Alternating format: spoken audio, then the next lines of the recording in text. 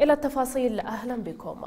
أعلن رئيس ديوان مجلس وزراء إقليم كردستان أميد صباح أن حكومة الإقليم تستعد لخوض مباحثات جديدة مع الحكومة الاتحادية لتنفيذ بنود الموازنة العامة للعام 2021 مؤكدا أن أربيل ملتزمة بما ترتب عليها من اتفاق حول الموازنة. وقال صباح في تصريح صحفي نحن بصدد الاستعداد من أجل أن يجري وفد الإقليم زيارة مرة أخرى إلى بغداد لمواصلة الحوارات مشيرا إلى أن المباحثات هذه المرة ستدخل حيز التنفيذ ونحن في الإقليم أبدينا استعدادنا التام لتنفيذ الاتفاق بين أربيل وبغداد المتعلق بالموازنة.